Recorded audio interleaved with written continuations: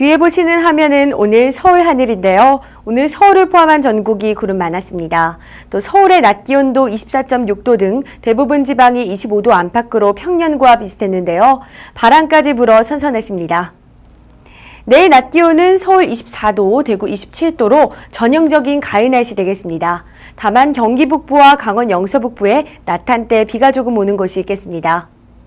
현재 전국이 가끔 구름 많은 모습입니다. 대부분 낮은 구름입니다. 내일 우리나라는 상하이 부근에 위치한 고기압의 가장자리에 들겠으나 중북부 지방은 북쪽을 지나는 기압골의 영향을 일시적으로 받겠습니다.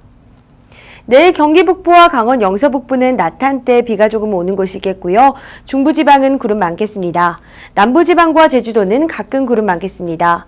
서울을 포함한 그 밖의 중부지방과 전라도에는 한때 빗방울이 떨어지는 곳이 있겠고요. 아침에 내륙 일부 지방에는 안개 끼는 곳이 있겠습니다.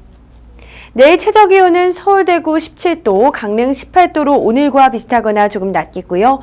내일 최고 기온은 서울 24도, 강릉 26도, 대구 27도로 오늘과 비슷하겠습니다.